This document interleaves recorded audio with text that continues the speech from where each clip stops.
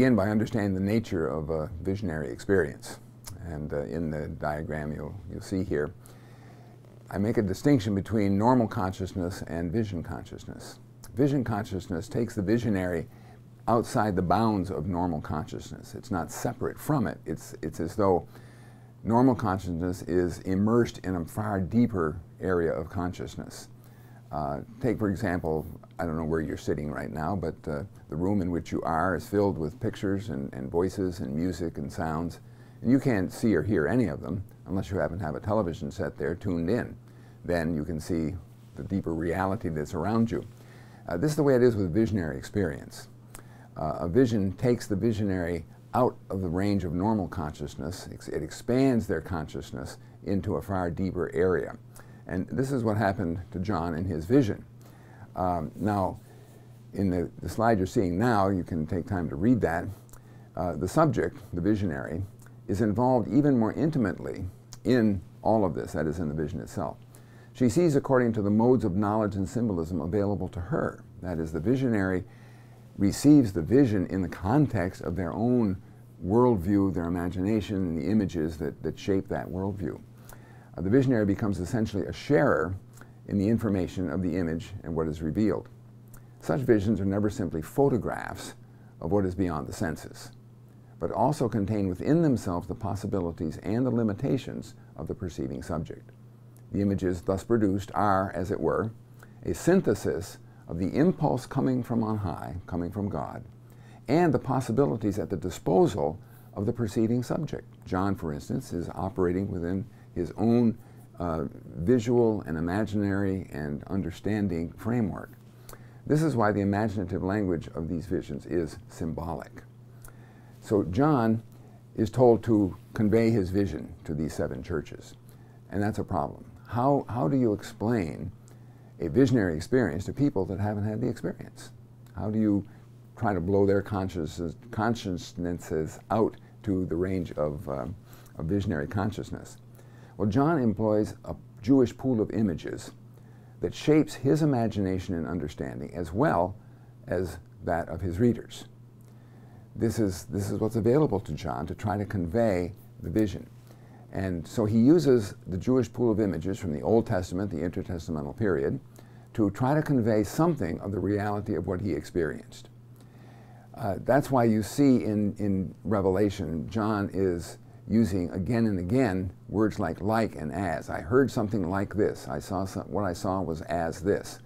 Because even though the imagery he uses to try to describe his vision is known to his readers, part of their image pool, John is indicating that even this image does not adequately convey the profound reality of what he experienced.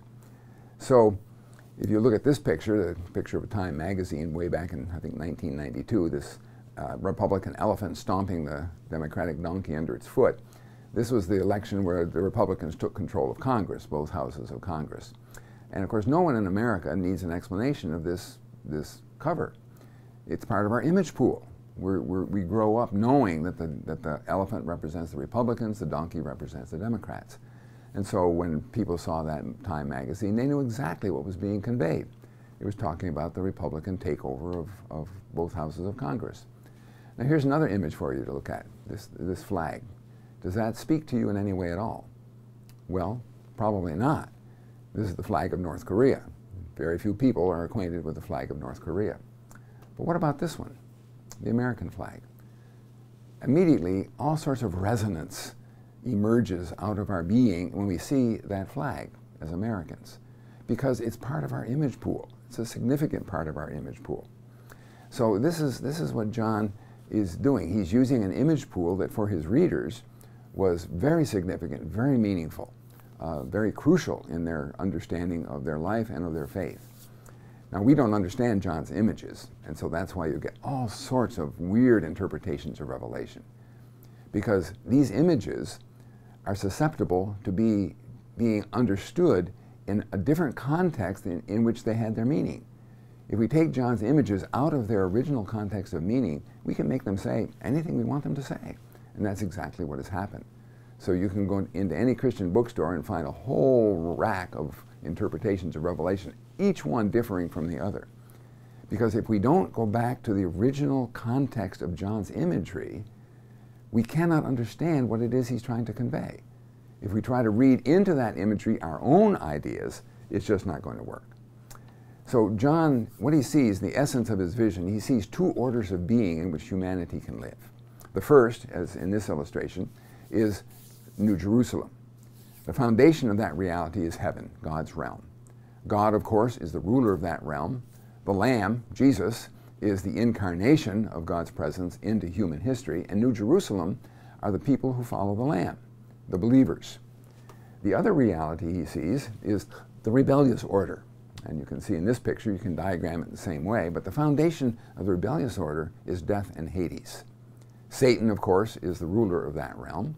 The beast and false prophet are the incarnation of Satan's rebellion in human history. And fallen Babylon are those people who worship the beast and its image, receive its mark, etc.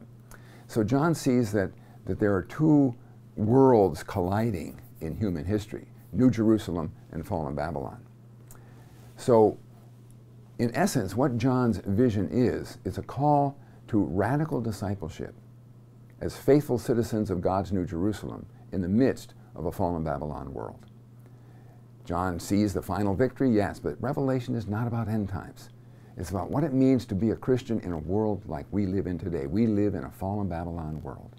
The worldview of our culture, the value systems of our culture, the behavior patterns of our culture are not those of the kingdom. We live in a fallen Babylon world, and we are to live in that world as faithful citizens of God's New Jerusalem. May you do so.